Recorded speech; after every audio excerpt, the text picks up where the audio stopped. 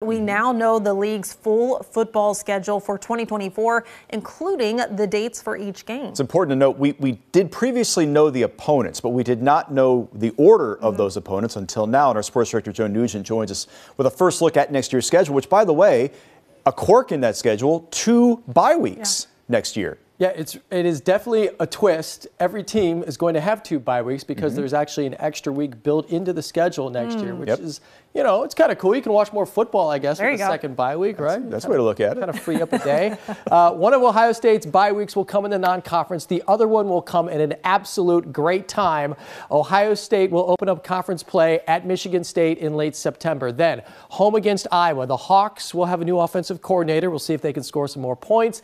Then on the road, the trip out to Oregon in mid October, followed by the second bye, which is perfect after those flights to the West Coast and back. Home game against a potentially resurgent Nebraska team, road game at Happy Valley.